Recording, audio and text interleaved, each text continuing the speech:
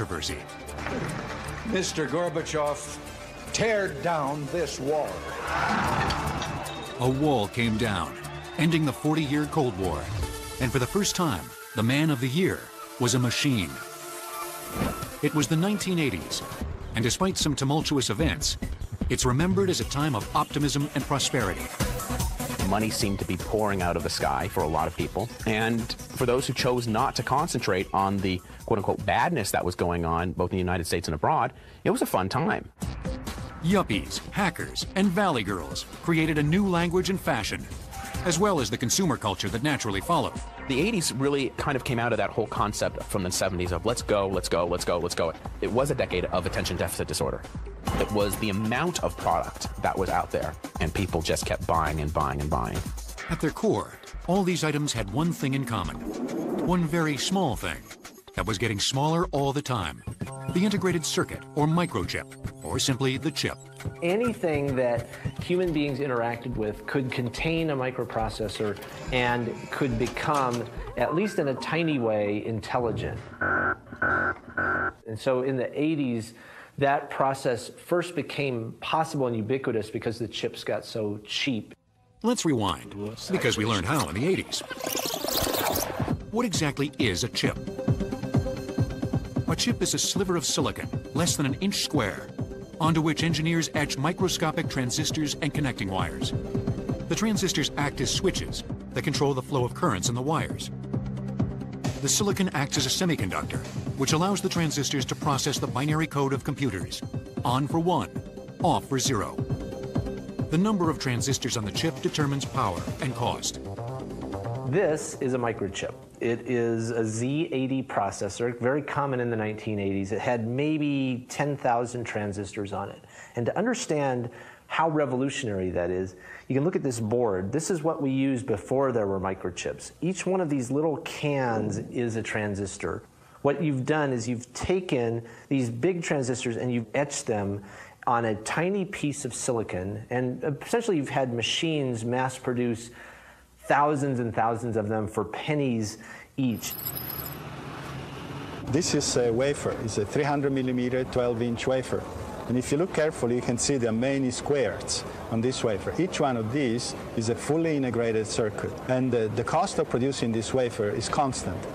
In 1965, you could only place uh, 10 or 15, 20 components on a single piece of silicon. Today, the number of transistors that can fit on a single chip is in the billions. The rate of innovation was predicted by Moore's Law. Coined by one of the founders of Intel, Moore's Law basically states that integrated circuit complexity will double with respect to minimum component cost about every 18 months. So as performance doubles, price remains the same. The magic of Moore's Law was the fact that it happened on a regularly scheduled basis. So anybody who was trying to innovate, they would look and say, when will my product be able to come to the market? Oh, it'll come in two and a half years. What will the capabilities of the silicon chip be in two and a half years? And they would design their innovation to intersect that line rather than only innovating on what was available at the moment. We're uh, standing outside the headquarters, Robert B. Noyce headquarters building of Intel Corporation. Intel was founded in 1968 by Robert Noyce, Gordon Moore, and Andrew Grove. They started out building memory products and along the way developed a product called the microprocessor. The microprocessor eventually turned out to be the most important product for Intel. Early computer products began hitting stores in the late 1970s. In 1981, Intel's 8088 chip, containing 29,000 transistors, was at the heart of an invention that would forever change the way humans interact with technology and business. The IBM PC. You had the TRS-80, the Commodore PET, and the Apple II. And they were very popular in middle schools, high schools. They didn't really get into business very much. People had a hard time taking these early computers seriously. It took the IBM PC for people to really look at the computer as something more than a toy. Now it's got those magical three letters, IBM. It must have something to do with business. IBM doesn't do frivolous things. Personal computers and the microprocessors needed to power them spawned a giant industry. And this industry already had a home. The area was dubbed Silicon Valley. Silicon for the semiconductor element that made the chip work, and Valley for its location in Northern California's Santa Clara Valley. new tech corporations sprouted up next to established tech organizations, all growing exponentially in the 80s within an area of about 50 square miles. Hewlett Packard, 1939. Fairchild Semiconductor, 1957. Intel, 1968. Xerox PARC, 1970. Apple, 1976. Adobe, 1982. Sun Microsystems, 1982.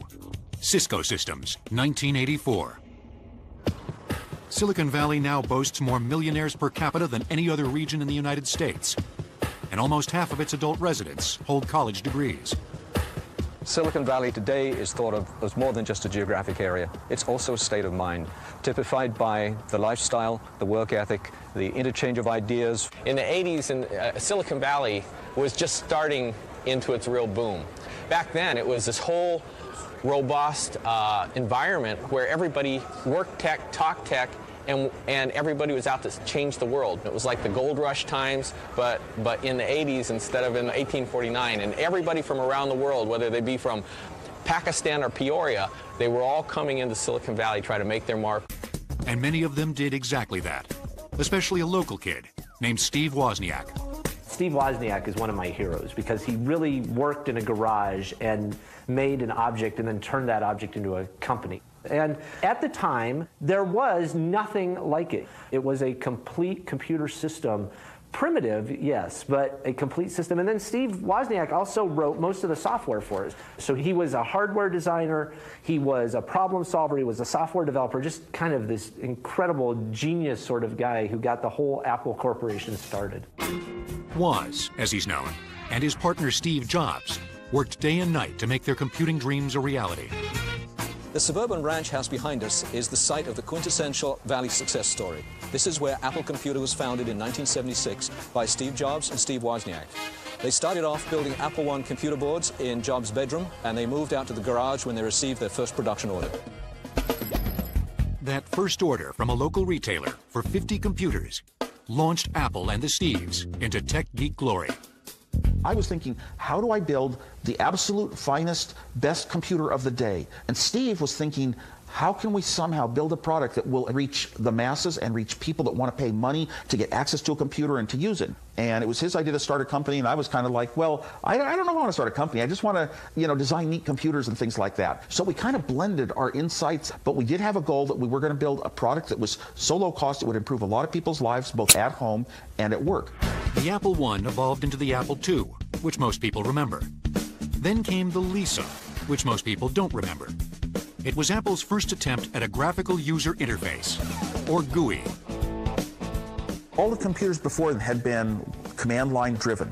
Let's say you wanted to copy a file from one floppy disk to another floppy disk. You would have to type in commands that specified the name of the floppy disk, which might be something so cryptic as C colon, D colon, or E colon, or F colon, and you'd have to type the name of a file, and you couldn't make one typing mistake.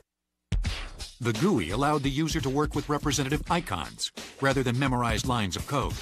When you're sitting at your desk thinking, how can I design a better computer? You're staring at your desk, and there's folders, and you've got your desktop, and there's garbage can there. I can open and close windows, and things talk to each other. I can move folders around and throw them in the garbage or, and rename them. Despite this user-friendly application, the Lisa never took off because most people couldn't afford to own one. It took a megabyte of memory to do that kind of computer, and a megabyte of memory back then just cost 5,000 bucks retail. So our computer sold for something like 10,000, and it wouldn't sell very well. But the price that's affordable has been almost the same since our first Apple II was kind of in this $2,000-ish price range. Steve Jobs pushed his engineers to come up with a GUI computer within this desired price range. And they succeeded. Here you have, in 1984, the Apple Macintosh. This came out to a lot of fanfare as a different kind of computer, quote, for the rest of us. So while the IBM PC was pitched at the sort of staid, kind of boring businessman, the Mac was for people who wanted to have fun, who were creative, and who weren't computer experts but needed to do work with a computer quickly. The Mac had a mouse and pull-down menus and picture icons that users could click and drag. Soon, IBM models also had these features. Learning to use computers went from daunting to doable. In the 1980s, if you were using a personal computer, you were a beginner by definition, and people really needed guidance. And the fact that there were magazines like this and books and other sources of information was really a sign that the revolution was here to stay. Apple Computers made Woz a multimillionaire. He took his money and created one of the biggest musical events of the 1980s, the US Festival. We put $10 million into building an amphitheater and putting in various um, needed facilities and plumbing and whatever. I even tested the porta potties myself. I think the reason it's been gone over so well is that we got more porta potties per person than any other event of its type ever. And we put on a concert, and it would run for three days. We had technology tents. This was in the early 80s, and Apple had kicked off this big thing, and now there were other companies building personal computers, and it was becoming a part of our life. Personal computers were just starting to connect to musical instruments, and technology and music kind of go together, and they always do. So I had a technology fair, and, and, companies basically showed off their products and what they could do, and you walked through and got educated. The US Festival foreshadowed the marriage of culture and technology, made possible by the microprocessor. The chip transformed the way people did business, and it also transformed the way people did pleasure. After punching out for the day, we found all kinds of techie new ways to spend our downtime in the 80s. If you were lucky enough to be a kid in the 80s, you might remember spending your allowance at the virtual nirvana called the arcade. Bound only by the limits of your imagination and how many quarters you had. Once just a place to play games like skee ball and pinball, arcades now boasted the newly popular video combat games, where you could single-handedly save the world from aliens by repeatedly pressing a button. But even more popular were character-driven games, like Donkey Kong and Pac-Man. According to Pac-Man's creator, Toru Iwatani, the inspiration for the character came from a pizza with a slice missing.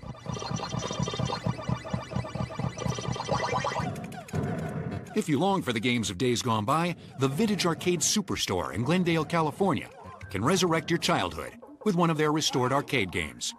Came up 500 short. Most of our customers are people that played these games when they were kids. Some of our customers are collectors. We have some customers that are um, celebrities. Our most sought after products are the early 80s video games like Ms. Pac-Man, Galaga, Defender, Asteroids, Donkey Kong. If we don't have something, we can find it for you. We completely go through them. We redo the control panels. We put new monitor glass on them, new marquees, new T-molding, repaint the sides. A lot of times we put new side art on them. We can put new monitors in them. Of course, Gene personally tests each game before it's shipped out to the customer. Inside, arcade games are fairly simple machines, made possible by our old friend, the microprocessor. Power comes through the, through the cord, goes in this transformer, there's some fuses. This is the power supply. Here's the computer board. Here's the memory chips right here. This is the microprocessor. Here's the monitor that displays the image. And the speakers up here, the control panels in the front, and that's basically what there is in a video game. Arcade game technology helped mesmerize an impressionable new generation. And like many electronics in the 80s, the games became small and cheap enough to come home. Sales of home video consoles like the Atari 2600 boomed. There was some interest on the part of many parents in acquiring home games so that their children would be playing at home as opposed to going out into this unknown space of the arcade where the parents would lose control over their children. From the kids' point of view, the games uh, that were conversions of popular arcade games for home consoles tended to be inferior, technically speaking. Inferior or not, home video games were a hit. Atari founder Nolan Bushnell seemed to have discovered a formula that worked, at least for a while. A 2600 contains a very, very simple microprocessor running at maybe one megahertz, and that primitive nature allowed it to handle only games that were two-dimensional with just a few colors and a few little objects that were moving on the screen. Bushnell allowed an open culture of game development, meaning that other companies could produce cartridges that were compatible with the 2600. Some of the games weren't exactly top-notch. As a result of that, Atari, in a way, kind of lost control of that platform. That led in the early 1980s to kind of a collapse of the industry. The game makers that followed, like Nintendo, learned from Atari's mistakes. They patented and coded their consoles and insisted on strict quality control guidelines. Despite some awesome innovations in video games and graphics over the years, we still look back nostalgically on those games from the 80s. If you poll, say, university students today, more than 50% of them have played with an Atari 2600 still to this day. It's for some reason, it's maintained its popularity. The Atari 2600 nailed a certain kind of interactive play experience that's possible uh, on a very simple platform. They're really timeless games. If games weren't your thing, then you may remember other television-related breakthroughs. MTV, CNN, and HBO were a few of the specialty cable channels making a big splash on the tube. But you couldn't possibly watch everything. Or could you? Enter the VCR. It allowed people to capture television and not have to schedule their lives around their favorite program anymore because now they could go and throw a tape in the machine, set the timer, record, and go out and do whatever they needed to do. Despite the fact that the clock always seemed to think it was midnight, VCRs enabled us to record a show at its regularly scheduled time and then watch it later. And it sounds so simple today, but that was a big deal at that time. The phenomenon that resulted was this notion of time shifting. Of course, the other thing that happened, people found the fast forward button, and then they could skip through commercials or parts of a program they weren't interested in. Consumer VCRs were introduced in the mid 1970s, but few households actually had one until the 1980s. In 1990, over 200 million VCRs were sold worldwide. When you were buying one in the early days, you had a big decision, which was did you want Beta, which was Sony's tape format, or VHS, which was from JVC, and the, the two formats were completely in, incompatible. The differences between the two technologies led to a format war, and only one would be left standing. Both machines essentially did the same things record and playback video after a cassette was inserted. In record mode, a VCR uses a rotating recording head that makes contact with the tape inside a cassette. As the tape moves past the spinning head, it records an analog signal of each frame as a diagonal stripe on the tape. Another head records sound and tracking information on the edge of the tape. In playback mode, the rotating head lines itself up with the diagonal stripes by using the tape's tracking codes. As the head rotates over the stripe, it reads the information for the image and sends it to the TV. A separate head reads the sound. The similarity between Betamax and VHS ends there. Betamax had slightly better quality because it used a larger head to read the tape. And that larger head meant that they could put a little more detail on the tape and get a little better clarity. And that limited the tape's maximum length to 60 minutes when the Betamax decks first came out. VHS was fit up to two hours on a tape, and because most movies fit in a two hour tape, that gave JVC a big advantage in the home rental market. Video rental stores popped up on every street corner, and it soon became common to rent a movie on tape and watch it from your couch. Unlike Sony, JVC saw an advantage to licensing their technology to many other electronics manufacturers. The competition lowered VHS prices, attracting more and more buyers. And there were two other reasons that VHS emerged victorious. VHS tapes were cheaper and they were more widely accepted in the marketplace. And then there was a force that isn't talked about so much, and that's the fact that most video stores had the front part of the store where you rented Hollywood movies and then a back room where you could rent other material of a pornographic nature. This was the first time that people could actually watch these works of art in their own homes, and that caused an explosion in that particular industry. Since that industry pretty much standardized on VHS, it drove a lot of what was happening in the front part of the video store as well. It was the final nail in the coffin for the Betamax home VCR market. 80s technology helped us kick back at home. But products like the Walkman and cell phone showed us that we could get tech to go. All the multifunctional items we hold so dear today have their roots in simpler products that became ubiquitous in the 80s, many of which were created by Japanese electronics firms. In the 80s, you saw the advancement of a whole bunch of devices from Sony, from the Walkman to the CD player, the VCR, the Handycam camcorder, and these devices were uh, paving new ground in terms of uh, innovation, but also design. And then we saw other Japanese-based electronics companies follow uh, Sony. In fact, there are one or two that have sort of referred to Sony as their, their R&D department. Nowhere was Sony's leadership more pronounced than in the realm of music reproduction technology. You started with home stereo systems. Those were shrunk down to a boom box, which you would carry on your shoulder and blast to everyone around you.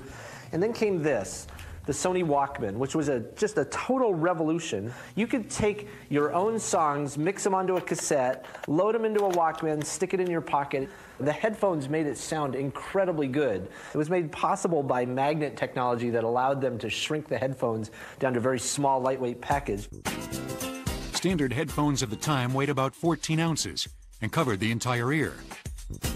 Sony was able to miniaturize headphones to about 1.5 ounces by replacing ferrite magnets with much stronger and smaller samarium cobalt magnets. The Walkman sends an electrical signal carrying the sound wave that the headset must reproduce. The signal creates a magnetic field in the coil that attracts or repels the samarium cobalt magnet. The coil's movement causes the headset's diaphragm to vibrate, creating the sound waves that you hear. It was uh, the first time people could uh, listen to music, any music they wanted to, anywhere, anytime, any place, um, frankly, without disturbing anybody else. It seems very simple today, but at the time it was pretty revolutionary, and it really did create a whole movement in terms of lifestyles and uh, behaviors and the way people um, entertain themselves. But you still had to carry around those clunky tapes that degraded over time. Even the Walkman couldn't save the ill-fated cassette. Because in 1982, Sony, with some help from Philips Electronics, upped the ante yet again with the compact disc. For decades, we had wax and then vinyl discs, and then we saw the 8-track tape, which was eventually obliterated by the cassette tape. And as we come into the beginning of the 1980s, we're left with two common formats, the cassette tape and the vinyl LP.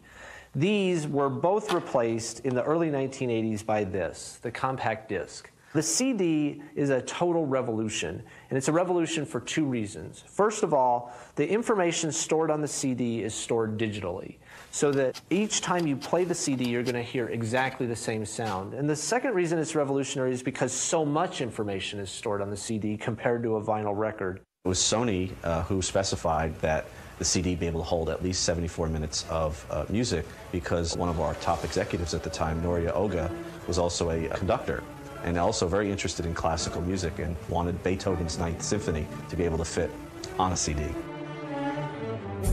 A CD starts as a disc 1.2 millimeters thick, made of clear polycarbonate plastic. During manufacturing, billions of pits or scratches are pressed into the plastic in a spiral string. The disc is then coated on one side with so-called super purity aluminum to create a mirrored surface. A film of lacquer protects the aluminum and is painted with the label for the CD. A CD is read by focusing a semiconductor laser through the transparent bottom of the polycarbonate layer. If you were able to grab a hold of that little string somehow and peel it off, you'd find that it's a string half a micron thick, but three miles long. The laser beam hits the CD, and it's going to find one of two things when it hits that surface. It's either going to find actual mirror, and it's going to reflect back clearly, or it's going to find one of those tiny scratches, and it's going to get diffused when it reflects off. Now, the CD reader is able to tell the difference between actual mirror and scratch, and from that, decide what bits of information have been written onto that CD surface. Of course, you needed a CD player. Sony's CDP-101 was also introduced in 1982. Now the trick was to convince consumers to repurchase all their music on the new format. But as people heard it or visited with friends or somehow came in touch with CDs and the quality of the music and the amazing fact that it would always have this great quality, it got adopted very quickly. Also, we came out later with the Discman, which was a CD-based version of the Walkman making CD a medium for portable music enjoyment. While many used technology to retreat into their own worlds, some embraced it for more social reasons. The first commercial portable cellular telephone, Motorola's Dynatac 8000X, showed us that we could stay in touch on the go.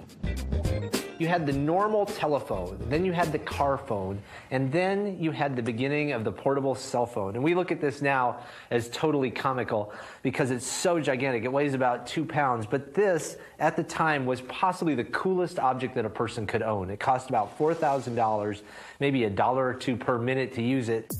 But it had no cord. And that's what mattered most. Like modern cell phones, the brick was basically a sophisticated radio system.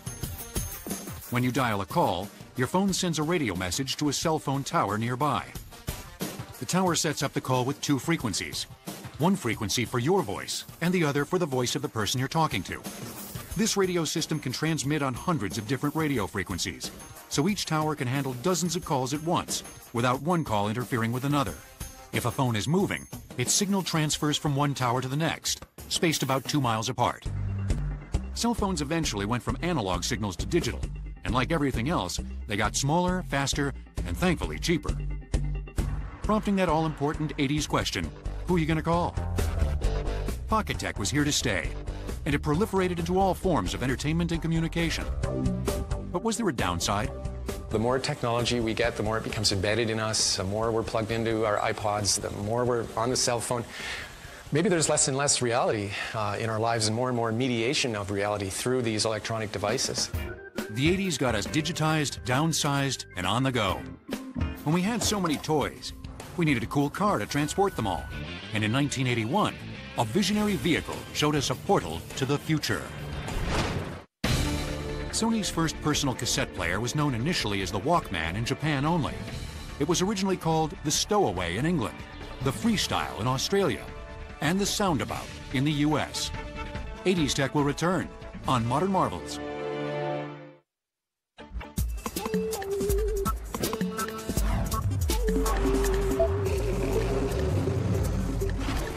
The DeLorean DMC-12 is still one of the coolest high-tech looking cars on the road, and it hasn't been manufactured since 1983. This is an exceptional car. It's a very sleek, sexy looking automobile. It performs well. When you drive it, you get looks from people that you don't get from any other car. I don't know how many times I've had people with cell phones take pictures of this car. The DeLorean was unlike any other car on the market in the 80s. The oil crisis of the 70s prompted many automakers to start building smaller, fuel-efficient econo-boxes that some believe left style at the curb. But the DeLorean was first class all the way. The brainchild of noted auto designer John DeLorean, the DMC-12 was developed for the U.S. market. But for financial reasons, it was produced in Northern Ireland.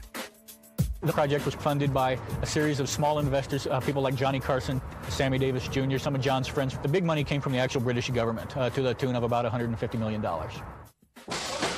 By building the car in Belfast, Northern Ireland, uh, they had hoped to give people jobs where unemployment was at the rate of about 30, 40%. And with all the sectarian problems in Northern Ireland about that time, people had jobs and they're less likely to be causing trouble in the streets. When the car hit showrooms in 1981, shoppers were amazed. Initial sales were fantastic. Cars were flying off the dealership lots because everybody wanted to be the first on their block. And then it wasn't unusual to see them selling for as much as 10,000 over stickers. The car's space-age design and virtual celebrity status ensured that it lived up to its slogan. One of the taglines in all the advertising for the DeLorean was live the dream. And to a lot of people, that's what John DeLorean himself was doing. He was a self-made man, married a supermodel, now had his own car company. The whole idea was to live this dream. But the dream was short-lived. The company hit hard times in 1982. Can't have any conversation about the DeLorean without talking about some of the controversy. The car was underpowered. The car was overpriced. Uh, some people didn't like the styling. Mirroring its maker, the DeLorean had a flashy exterior, but people questioned what was underneath. Cars weren't selling. Interest rates were very high for cars, things like that. And John DeLorean needed money. He was persuaded by one of his neighbors to get involved in a financial deal that he later found out involved the importation and trafficking of cocaine. As most people now know, this was a sting operation. Uh, John DeLorean was arrested in October of 1982, finally went to trial in 1984 where he was acquitted on all charges. I never, ever believed I could be brought into a situation like this. Of course, when you're arrested, it's on page one. When you're found not guilty later on, it's on page six. I still have people to this day say, is John DeLorean still in jail? Not realizing that he never did any time. 2,000 pound, a 2,000, 250, 250, 250. His company went under in 1983. Sold at 6,250. But just because they no longer mass-produce DeLoreans doesn't mean you can't get one that's brand new. Ish. The DeLorean Motor Company in Houston, Texas can build you one of these heavy metal babies out of never-been-used components. A completely remanufactured car is one that we'll strip completely to a bare frame and then we'll rebuild using all brand new parts. So essentially you're getting a brand new 25-year-old car. These unused parts, engines, transmissions, exterior panels, and all, were sent here from the factory when production halted in 1983. They also refurbish used DeLoreans to their original luster.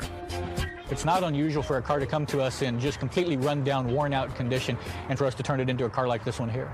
We'll refresh the interiors, we'll rebuild drivetrains, uh, we'll do body work, whatever it takes to make the car look as good as it did back in 1981. And the price tag? A good rule of thumb is it takes 25000 to have a good running, reliable, daily driver, nice looking DeLorean. Doesn't matter if you buy one for 15 and you put 10 in it or you buy one for 25 that's already finished.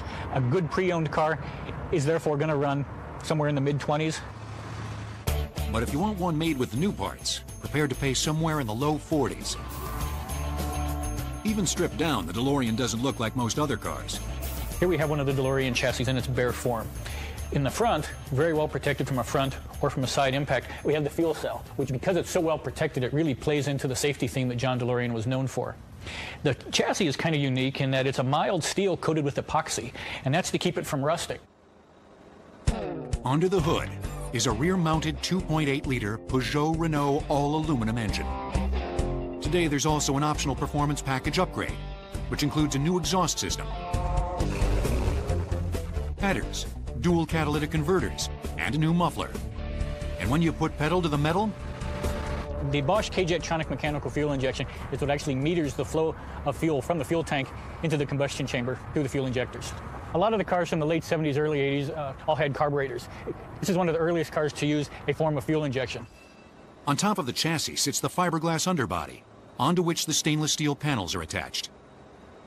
Unlike most cars where you have body panels welded to the car, on a DeLorean, all the panels bolt on. So it's real simple to do any kind of panel replacement. You can bolt the panels on and you can bolt the panels off, and you're ready to go. It's safe to say you won't see too many other stainless steel cars on the road. Because this metal is about five times more expensive than the more common mild steel used for most cars. Once you're done admiring the unusual exterior, grab a door handle and flip her open. One of the unique things about the DeLorean is obviously the gull wing doors which open upward. They need 14 inches of clearance, which is less than a regular automobile. They're operated by a torsion bar, which sits inside here. It's made out of stainless steel. It's dipped in 350 degrees below zero liquid nitrogen and counter-turned 10 times each way.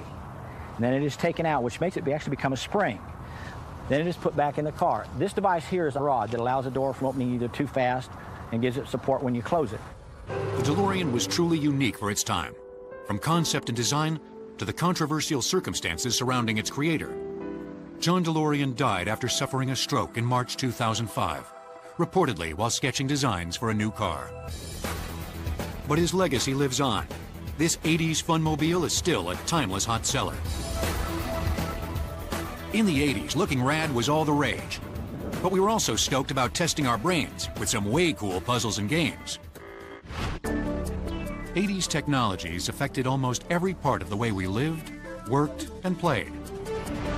But products didn't have to be super high-tech to grab consumers' attention. Rubik's Cube, the famous six-sided mechanical puzzle, was released in May 1980. By 1982, more than 100 million had been sold worldwide. The object is to rotate the various segment rows until all sides of the cube are a solid color and no cheating by peeling off the stickers. Invented by Erno Rubik, a Hungarian sculptor and professor of architecture, the cube has about 43 quintillion different configurations. But it's advertised as having only billions, because the concept of quintillion is too difficult to comprehend. And what's so interesting about this puzzle is that it's so low tech. And if we can just take a moment to get inside of this, we can see exactly how it was put together. The cube uses a central armature with six arms and six affixed squares. 20 carefully shaped cubes interlock with one another in the armature to form the six faces of the cube. This allows the sections to rotate independently. Despite the vast number of possible positions, some algorithms have revealed 22 moves as the fewest necessary to solve a jumbled cube. And if you're a Rubik's Cube competition champion, you can do it in about 15 seconds. or even blindfolded.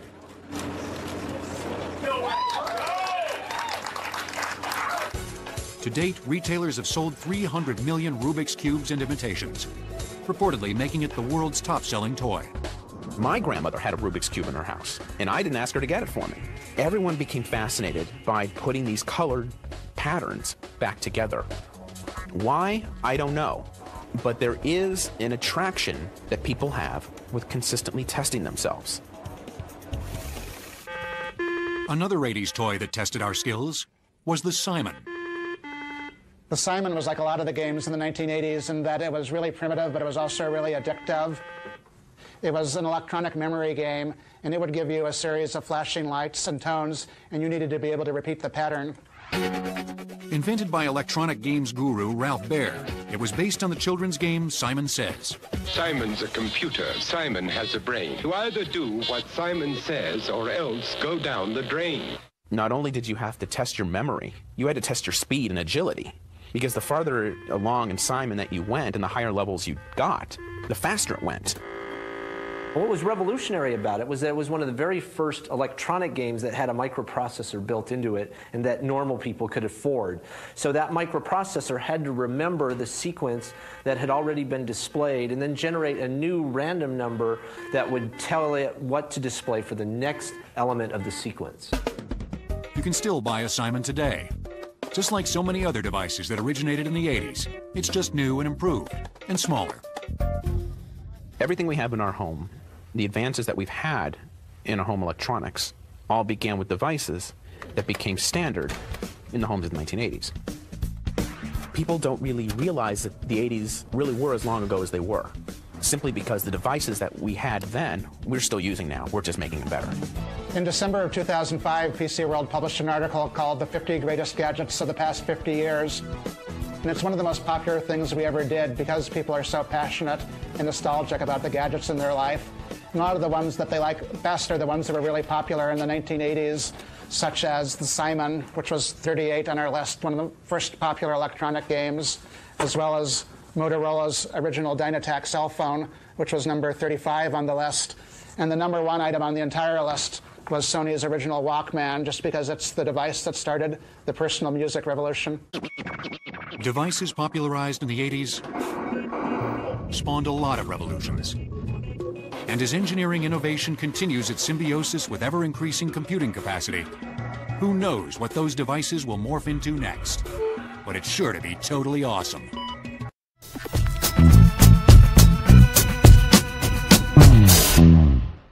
Controversy. Mr. Gorbachev, tear down this wall. A wall came down, ending the 40 year Cold War. And for the first time, the man of the year was a machine. It was the 1980s, and despite some tumultuous events, it's remembered as a time of optimism and prosperity. Money seemed to be pouring out of the sky for a lot of people. And for those who chose not to concentrate on the quote unquote badness that was going on both in the United States and abroad, it was a fun time. Yuppies, hackers, and valley girls created a new language and fashion, as well as the consumer culture that naturally followed. The 80s really kind of came out of that whole concept from the 70s of let's go, let's go, let's go, let's go. It was a decade of attention deficit disorder. It was the amount of product that was out there, and people just kept buying and buying and buying. At their core, all these items had one thing in common.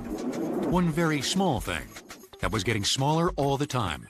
The integrated circuit, or microchip, or simply the chip.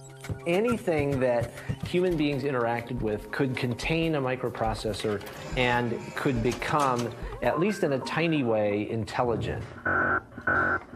And so in the 80s, that process first became possible and ubiquitous because the chips got so cheap. Let's rewind, because we learned how in the 80s. What exactly is a chip? A chip is a sliver of silicon, less than an inch square, onto which engineers etch microscopic transistors and connecting wires. The transistors act as switches that control the flow of currents in the wires. The silicon acts as a semiconductor, which allows the transistors to process the binary code of computers. On for one, off for zero. The number of transistors on the chip determines power and cost. This is a microchip. It is a Z80 processor, very common in the 1980s. It had maybe 10,000 transistors on it. And to understand how revolutionary that is, you can look at this board. This is what we used before there were microchips. Each one of these little cans is a transistor.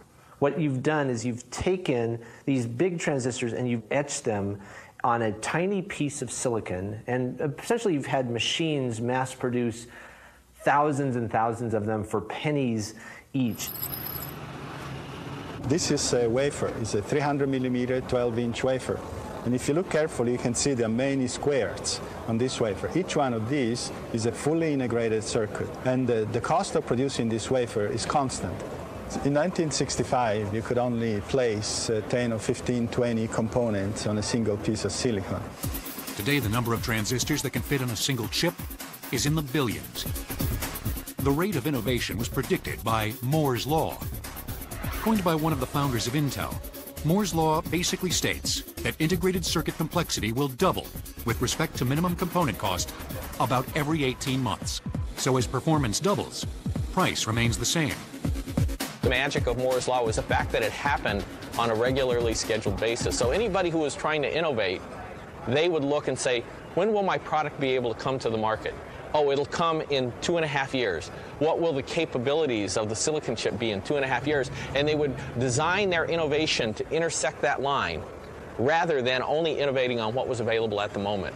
We're uh, standing outside the headquarters, Robert B. Noyce headquarters building of Intel Corporation. Intel was founded in 1968 by Robert Noyce, Gordon Moore, and Andrew Grove.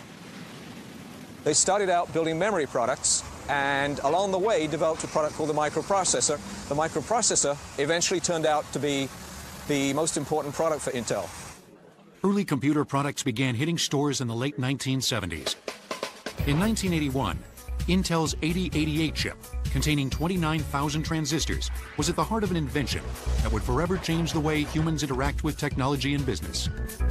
The IBM PC. You had the TRS-80, the Commodore PET, and the Apple II. And they were very popular in middle schools, high schools.